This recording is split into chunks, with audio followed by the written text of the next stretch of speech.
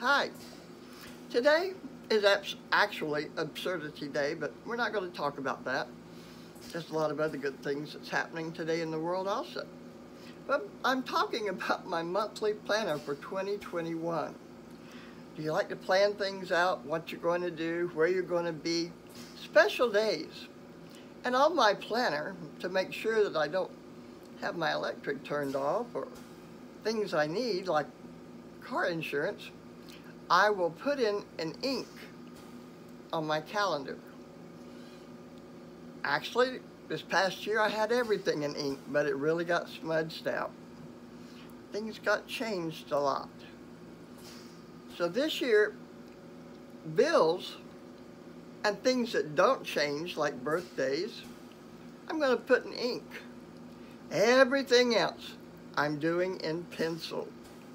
That's my tip of the day. You have a blessed day. God bless you.